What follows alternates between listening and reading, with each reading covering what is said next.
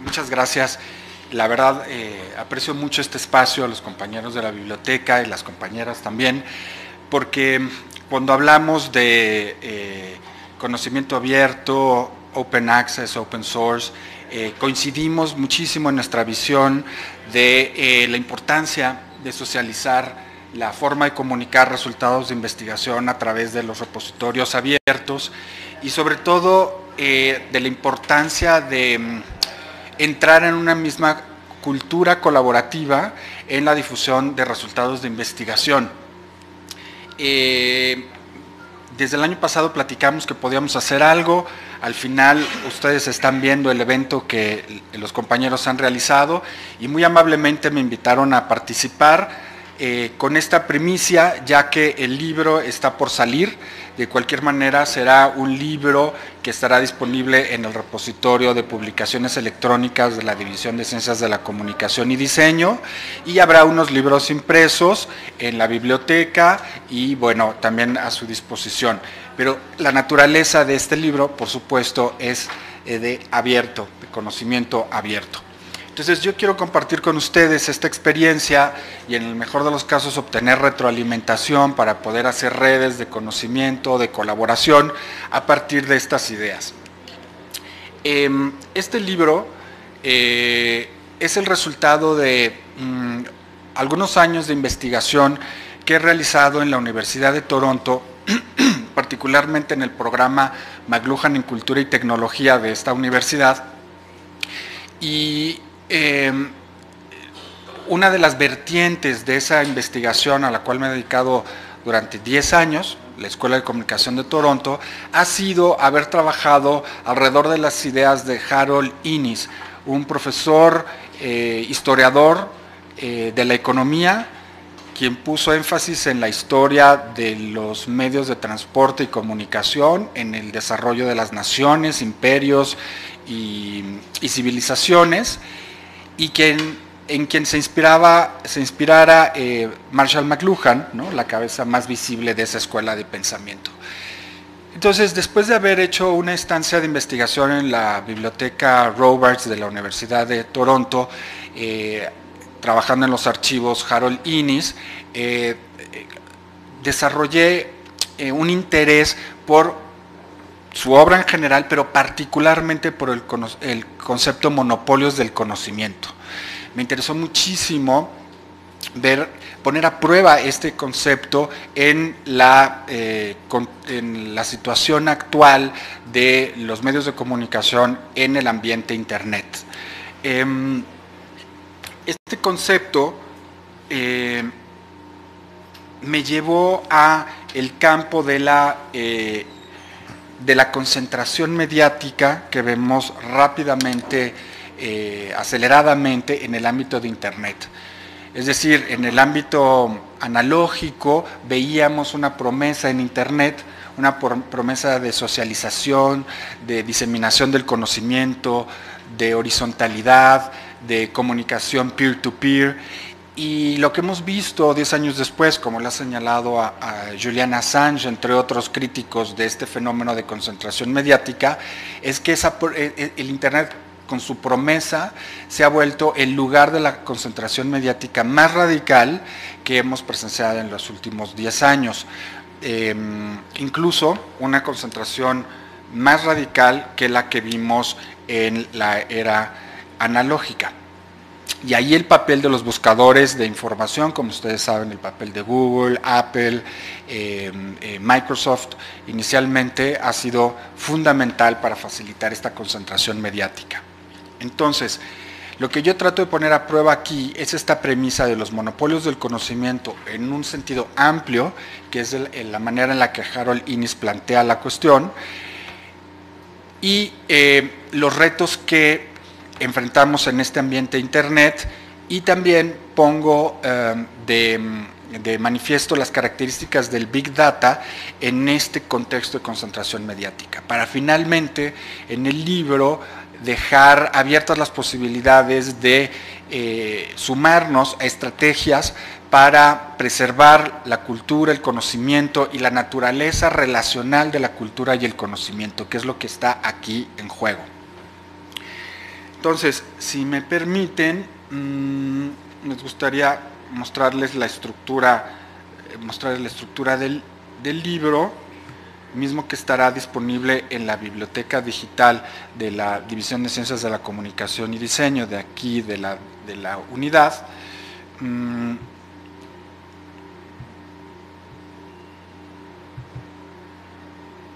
Y que, como ya dije, mis colegas de la división están trabajando por eh, tener ya listo y en el contexto del el evento que nos convoca, pues nos pareció muy pertinente trabajar con estas ideas en este evento que nos reúne. Mm, vamos a ver,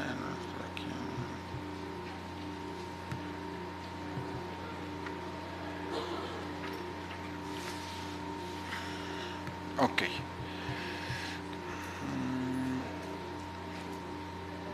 Este es, bueno, este es el libro, la primicia. Em, quiero mostrarles el índice.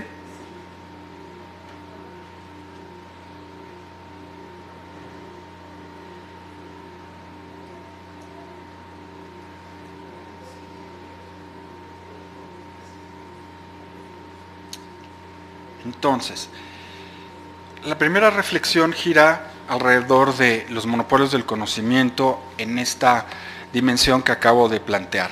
Es decir, ¿qué define a un monopolio de conocimiento? Y el enfoque que Harold Innis plantea y en general toda la escuela de, pensamiento conocida como Media Ecology o Ecología de los Medios, es que los soportes de inscripción de la información van a determinar la economía de ese modo de comunicación el libro por excelencia desde Gutenberg hasta nuestros días, ha creado no solamente la industria del libro o la industria editorial, sino una forma de relacionarnos con el conocimiento y una serie de grupos especializados en, en, esa industria. Los correctores de estilo, los editores, fotógrafos, formadores, los diseñadores que pasaron de la formación en letra set a digital, aprendiendo nuevas habilidades y conocimientos, los nuevos eh, diseñadores ya nacidos digitales, que tienen habilidades eh, también digitales. En ese sentido amplia, amplio es que los monopolios del conocimiento, particularmente en el caso del libro, funcionan. Y además habría que poner atención, ya que estamos pensando en términos de industrias, en la cadena que alimenta una industria. Hemos visto la cadena que alimenta la industria editorial, la feria del libro de, Guadalajara nos deja ver todos los años esa, esa industria que, donde participan desde los creadores, los em, editores, eh, pero Inés va todavía más allá, va a quienes proveen de insumos para esta industria. Él comenzó esta investigación viendo el carácter que tenía Canadá como periferia de Estados Unidos y particularmente la zona de Nueva York para la industria editorial él le llamaba mucho la atención cómo Canadá proveía a Estados Unidos de, pulpa de, madera eh, para la industria editorial y cómo ese, esa, esa madera, esos insumos alimentaban una industria efímera como la del periódico impreso. Entonces, él nos dice que para comprender la naturaleza de una industria, una industria cultural o un medio de comunicación, tenemos que ver cómo funciona, pero en esta dimensión industrial. ¿Qué insumos toma de la sociedad y qué da a cambio? Esto nos va a permitir en un segundo momento ver si hay un balance y si lo que una industria toma de la sociedad realmente compensa con lo que está dando. Em, y luego, digamos, una tercera pregunta en esta forma de investigar sería, ¿quiénes son los ganadores y los perdedores en este juego de una industria de la comunicación? Entonces, ya de entrada, poner la atención sobre los soportes físicos de inscripción y no sobre los contenidos va a ser un enfoque característico de la Escuela de Pensamiento Ecología de los Medios, pero también estaba ya en el materialismo histórico y algunas vertientes del, del marxismo. Bueno, entonces, em, desde Harold Innis, él pretende nada más y nada menos que hacer una relectura de la historia de Occidente, poniendo atención en las em, formas de, en el papel que han jugado los medios de comunicación y de transforme, y, perdón, medios de comunicación y de transporte en la estabilización de una sociedad o en el declive de una sociedad, imperio o nación. Porque desde el punto de vista de un economista, la preocupación principal es que la economía se mantenga estable, ¿no? Que no haya crisis, porque entonces pues desaparece eventualmente una sociedad. Estos conceptos nos suenan un poco difíciles de apropiar en ciencias sociales y en humanidades, ¿no? porque bueno, no pretendemos normar sobre la sociedad. Entonces este enfoque resulta muy enriquecedor de los estudios en comunicación. Entonces ciertamente hay una relación importante entre tecnologías, tecnologías de la inscripción y los monopolios. Entonces, Inés nos dirá que los monopolios tradicionales del conocimiento van a ser las sociedades, por ejemplo, teocráticas, y si observamos los modos de inscripción, veremos que en los soportes duros, rígidos, que trascienden en el tiempo, por ejemplo en las pirámides o en las catedrales, vemos mm, contenidos de carácter eh, religioso, que nos deja ver la cosmogonía de una, de una sociedad o una civilización. Y si observamos los soportes de inscripción livianos como el papiro, el pergamino, el papel, veremos que son susceptibles de información efímera, tickets diríamos ahora, recibos de, compras, pero eso tiene la capacidad de viajar y, cubrir grandes extensiones territoriales, lo cual asegura una administración del imperio, nación, sobre el territorio. Entonces Inés nos llevará a preguntarnos cuál sería el balance ideal entre la expansión territorial y la trascendencia en el tiempo de una sociedad. Entonces, estas preguntas son fascinantes para cualquier estudioso en ciencias sociales e incluso en humanidades y ciertamente en, ciencias de la comunicación. Este método lo aplica a los egipcios, a los griegos, a, los chinos y al, eh, a particularmente Occidente, Europa y Estados Unidos en particular. Bueno, utilizando el concepto de Tecnópolis de Neil Postman, veremos que estamos en el contexto del Big Data en un, punto en el cual la tecnología ya abrazó todos los, los, aspectos de la sociedad. Es decir, recuerdo a Neil Postman, tendríamos tres momentos de las sociedades con respecto a la manera de apropiarse la tecnología las primeras sociedades que utilizan la tecnología como herramienta para hacer lo que tienen que hacer, pero las tecnologías están lejos de incidir en la concepción em, mítica, religiosa, incluso económica, política de una, de una sociedad. Luego habrá un momento a partir de la revolución industrial en donde las tecnologías comienzan a ser eh, determinantes en el desarrollo y concepción de una sociedad. Eh, digamos que eh, hasta la revolución industrial, ya desde la, revolución mecánica, de la reproducción mecánica de la información, veíamos ese papel preponderante de las tecnologías, pero no lo llegaban a dominar todo. Entonces, cuando Neil Postman titula su libro Tecnópolis, la, eh, muerte de la, de la cultura ante la tecnología, lo que nos está diciendo es que estamos en un tipo de sociedad tecnópolis, donde la tecnología ha absorbido todos los otros procesos y se ha vuelto un proceso ideológico y un proceso que guía las visiones de una sociedad en su conjunto, incluso de civilizaciones. Entonces estamos en la tecnópolis. Con ese, con ese eh, digamos, esa, esa hipótesis es que abordo el segundo capítulo donde planteo las características del Big Data. Como ya he dicho, Harold Innes nos dirá que para comprender una tecnología habrá que preguntarnos cómo funciona, qué, eh, elementos toma de la sociedad y qué da a cambio, y a quiénes beneficia y a quiénes deja en el camino. Entonces, en el caso del Big Data, eh, se describe esto, mm, digamos, aquí no, digamos, no es el momento para hablar de ese, de ese tema en particular, pero ciertamente, como ustedes saben, eh, en el ambiente Internet en las propiedades que tiene la nube podemos identificar características del Big Data. eh, no es un repositorio muy grande, a pesar de que es Big Data, no es solamente lo grande lo que la caracteriza, probablemente la característica más predominante desde mi punto de vista es que es iterativo, es decir, que la información se va a seguir cotejando con otras informaciones, cruzando información y enriqueciendo las cadenas de conocimiento a partir de datos e informaciones. Y bueno, además de que estamos, como ya dije, en la Tecnópolis, donde ahora colectamos datos que antes era imposible colectar, ¿no? Como ustedes lo saben, entradas, salidas, reconocimiento facial, este, eh, toda la información que recolectan GPS, etcétera. Entonces, ahí se plantean algunos eh, debates respecto a la importancia de utilizar responsablemente los datos, la información y el conocimiento.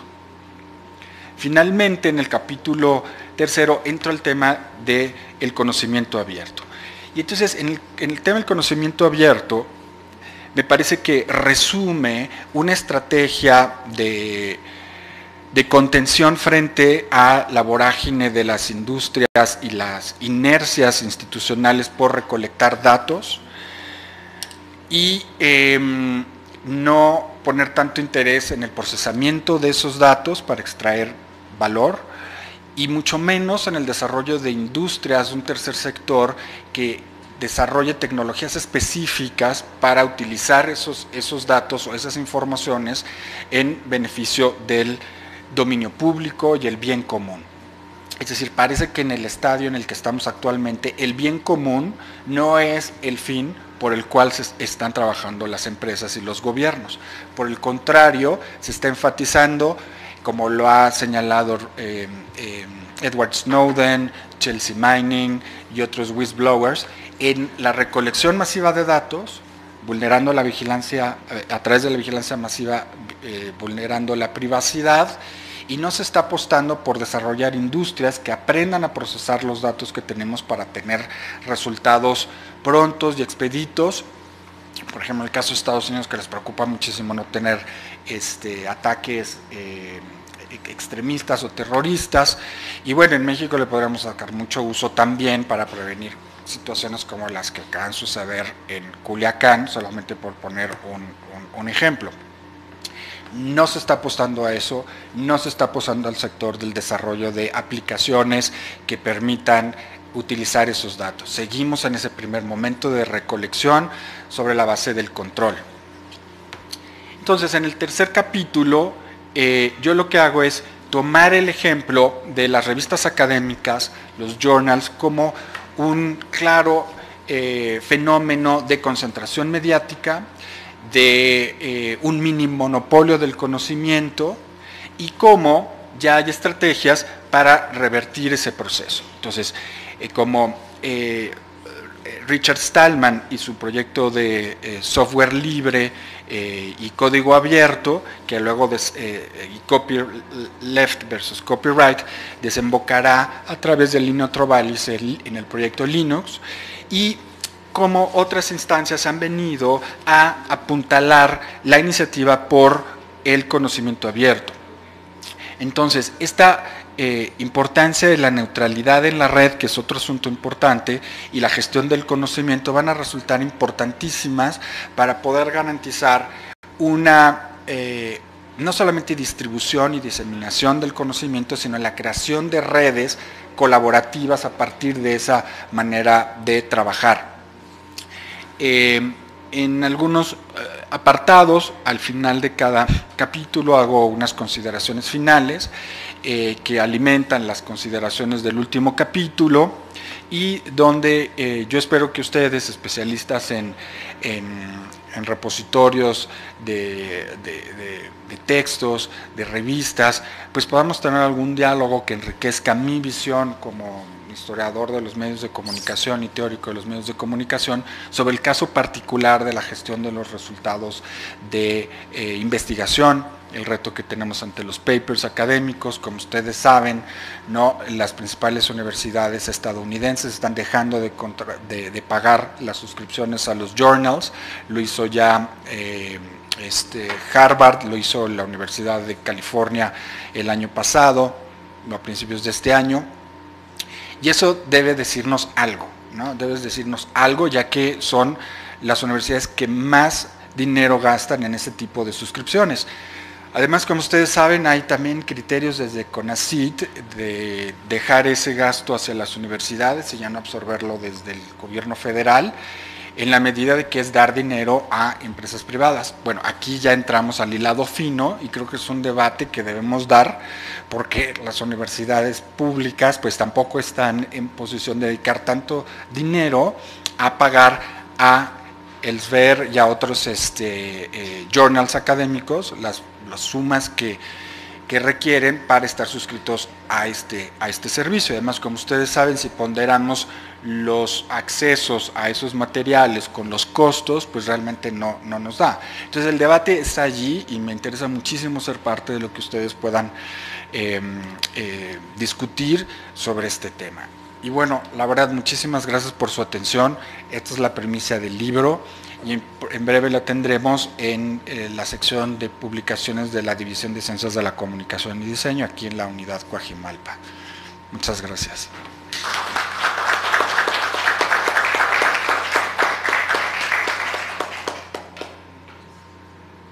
¿Tienen alguna duda o pregunta, comentario hacia el doctor? ¿No? ¿Sí?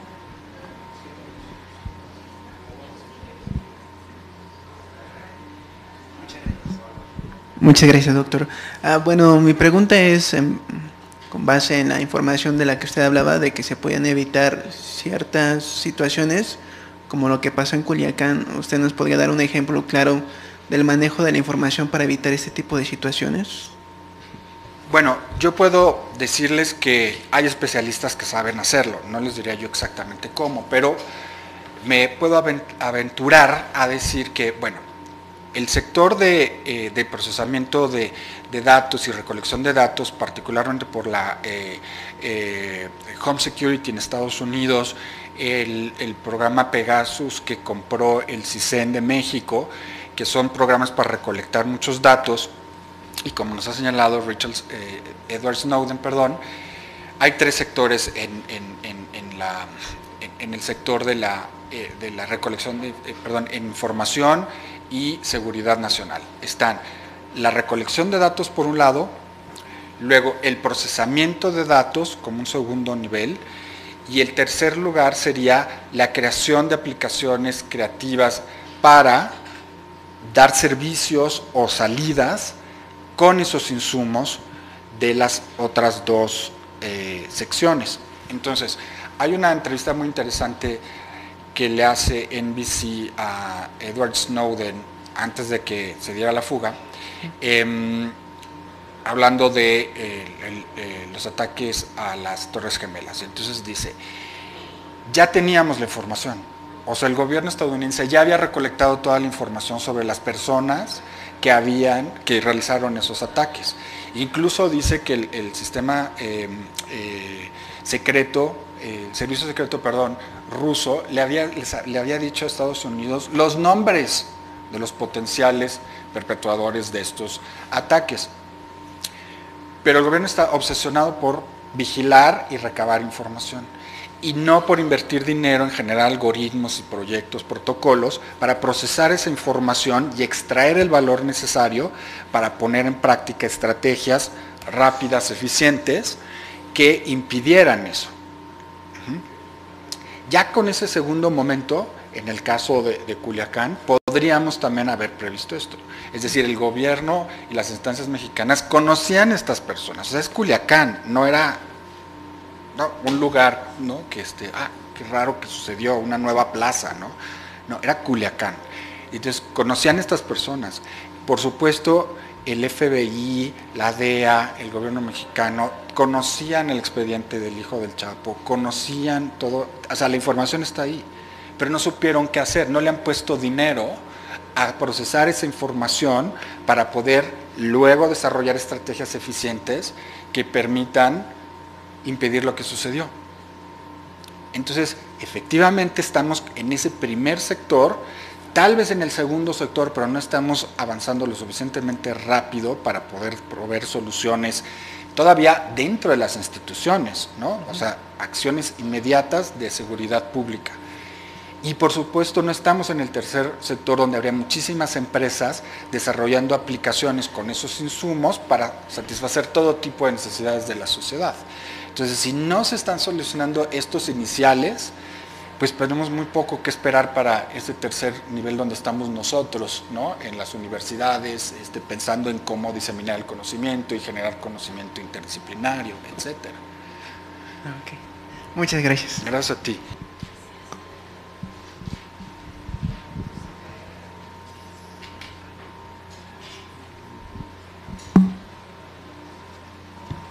Ah, hola. Este, hace, bueno, creo que ahorita, por ejemplo, de lo que justamente comentaban, uno de los ejemplos fue lo que sucedió con British Analytical, ¿no? Lo que sucedió con Facebook cuando British Analytical, el académico que idea el algoritmo, se roba todos los registros de Facebook y con eso marca tendencia, hace lo, que usted comentaba, ¿no? Empieza a manejar este, con ese algoritmo la, información y a raíz de ese algoritmo fue que se empezaron a dar las tendencias en cuanto a lo que era este, las votaciones para de apoyo a Trump, ¿no? Y, fíjese que, por ejemplo, aunado a ello, años, unos, unos meses antes de que fuera, este, eh, tenía un amigo, tengo un amigo que está en Monterrey, Nuevo León. Eh, curiosamente, en ese, en ese periodo de tiempo eran las campañas presidenciales aquí en México con, con este obrador.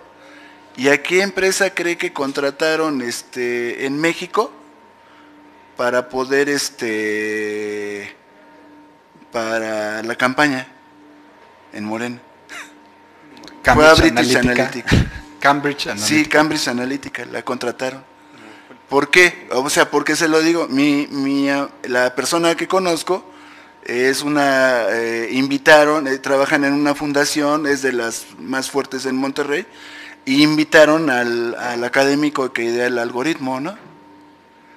Y justamente, y justamente los colores que tenía que se utilizaron en la campaña y este, y este tipo de cuestiones, con eso fue que empezaron a, manejar este, la campaña, porque eso, eso al menos era lo que ideaban.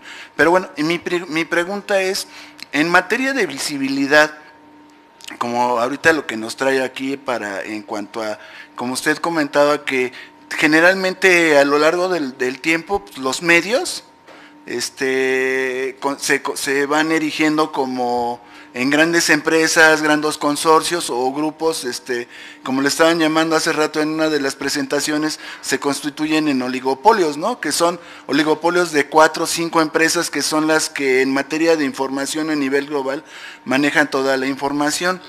Cuando estamos hablando de, podemos hablar de, Open Access, de diferentes líneas de la, de la, verde, de la dorada, de las híbridas, de este tipo de situaciones, ¿no? Pero como usted dice, ¿no? Se van erigiendo diferentes, eh, mutan y se convierten en diferentes, este, diferentes formas en las que eh, se va, se, supuestamente se está democratizando la, la información, ¿no? Pero, pero finalmente en términos de, de, CONACIT, por ejemplo, CONACIT le, invierte mucho dinero anteriormente en el gobierno, en los gobiernos anteriores y a nivel latinoamericano, le daban eh, se van por el open access, eh, le crean proyectos como es eh, en materia de revistas, es el OJC, este, el, que es el Open Journal Software, que es también de, Open Access. También viene el DSpace y, y, algunas otras cosas, ¿no? CONACIT pone sus reglas de operación y le da apoyo a lo que son las instituciones. Las instituciones crean lo que son sus repositorios institucionales y pues ya los liberan y le dan visibilidad a las publicaciones que tienen las instituciones, ¿no? Pero a nivel internacional finalmente eh, hay proyectos como el de DOA, que es de, este, de Open Access, también de, en materia de libros, es decir, pero finalmente cuando entra, uno entra a ese tipo de proyectos, vemos que uno puede descargar lo que son las bases de datos. Y finalmente también así hay software que también es de, acceso libre, que hace lo que la cosecha, o sea, uno baja la base de datos, hace la cosecha de acuerdo a, las temáticas que uno quiera y hace la, el filtro de, de, este, de, esos metadatos que, ya bajamos, ¿no? Pero sin embargo, por ejemplo, en, en México está muy en pañales la, este, esa parte que usted está justamente está diciendo. Y como estamos en una transición, mi pregunta sería, ¿cuál es su visión en cuanto a, ese tipo de proyectos que están pues creando una, una tendencia a nivel este, educativo de, democratizar la información, ponerla en acceso libre. Estaban comentando hace rato que también, por ejemplo, uno de los filtros puede ser la IP, nada más puede uno ver los registros, pero no tiene uno acceso a los textos completos. Igual ahí hay acuerdos institucionales o algo así, ¿no? Pero, pero ¿cuál es, usted qué, qué, qué cuál es la visión que usted le da en este, la política, esa política de gobierno? Porque ahorita esa parte ya es muy incierta Sí, volviendo a este esquema de tres momentos, eh, la recolección de datos, eh, el, análisis de los datos y la generación de eh, algoritmos, aplicaciones que permitan extraer y brindar valor a la población en sus diferentes sectores. Yo creo que el sector en el que ustedes están tendría que invertir, eh, pensar en cómo procesar los insumos que tienen con eh, los papers que ya tienen en Open Access y cómo hacerlos llegar de manera puntual a los diferentes consumidores, lectores, investigadores de temas específicos y problemáticas en particular. Em, porque me parece que lo que han enseñado las diferentes transiciones tecnológicas es que, como decía Marshall McLuhan, vamos hacia adelante, pero pensamos como en, el pasado, vamos, es el efecto retrovisor, vamos hacia adelante en el coche, pero vamos viendo en el pasado, porque solamente tenemos el referente del pasado. Entonces, creo que estamos entrando al ambiente del open access, pero seguimos pensando en términos de journals, de journals y de papers, y, y no estamos entendiendo cómo este nuevo ambiente algorítmico nos demanda eh, otra forma de abordar la cuestión.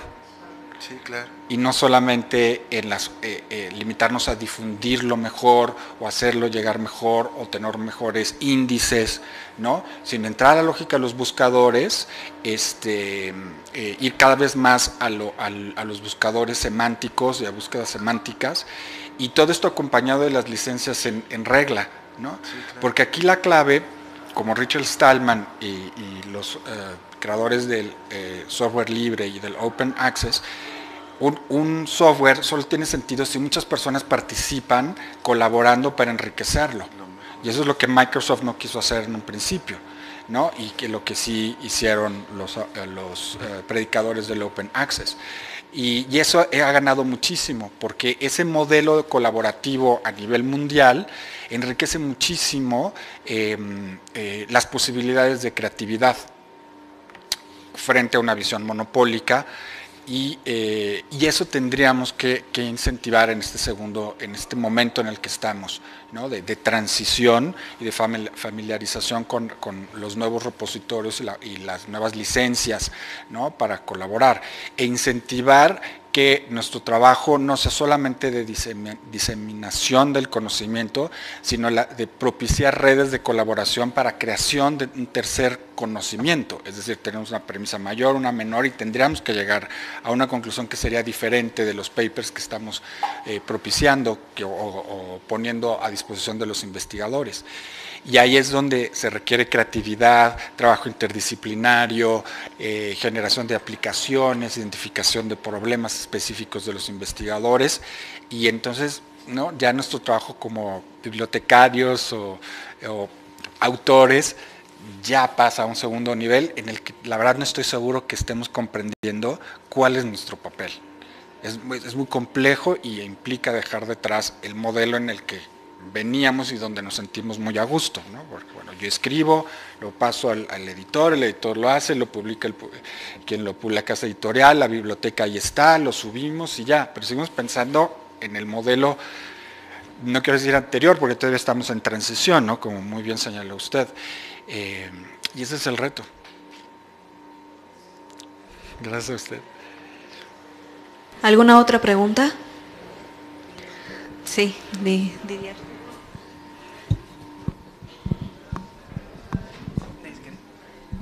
Ah, disculpe una vez más.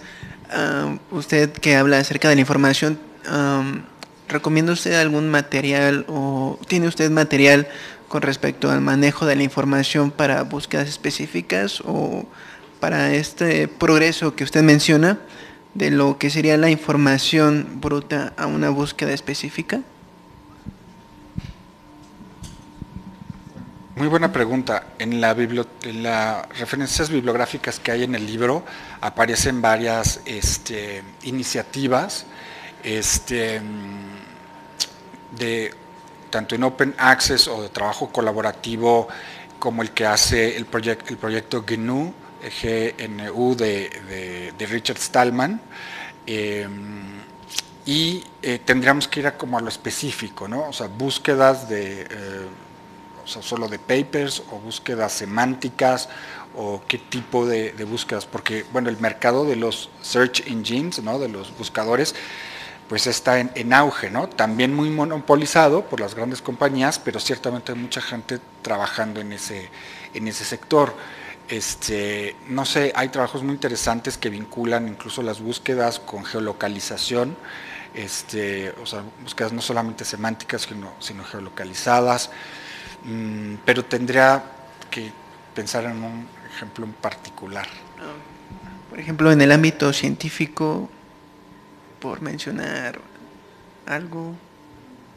Bueno, usted, aparte de este libro, estará manejando otro proyecto para este tema acerca de manejo de la información específico.